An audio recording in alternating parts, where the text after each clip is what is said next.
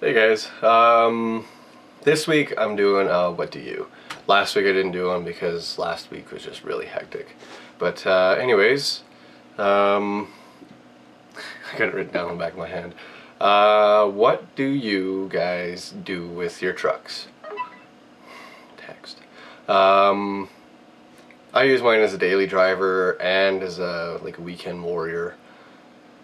Um, so, do you guys just use them for like hauling groceries, hauling vehicles or whatever? Do you pull trailers all the time or do you have different trucks for different things?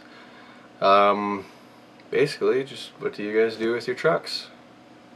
And if you don't got trucks, then I don't know.